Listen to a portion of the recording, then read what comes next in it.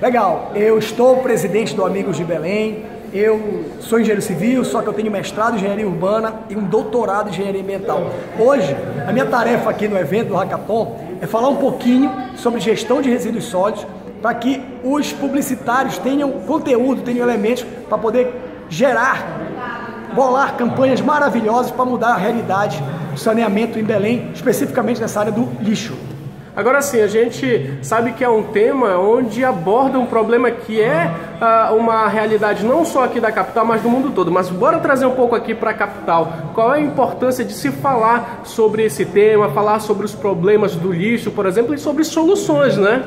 Sim, o Brasil, o Brasil ele tem a sua dificuldade em relação a resíduos sólidos, só que Belém, de certa forma, assim como a região amazônica, essa dificuldade é maior. A região metropolitana gera 1.800 toneladas por dia, só de resíduos sólidos urbanos. Tem o industrial, tem o agro pastoril, enfim. Nós precisamos ter uma cultura melhor para segregar melhor e essa segregação vai permitir que a gente tenha um tratamento diferente, inclusive para gerar emprego e renda. Estou falando de catador de resíduos sólidos. Nós precisamos também aproveitar a parte orgânica para fazer condicionador do solo, que pode servir como adubo nas nossas praças, assim mesmo com hortas orgânicas.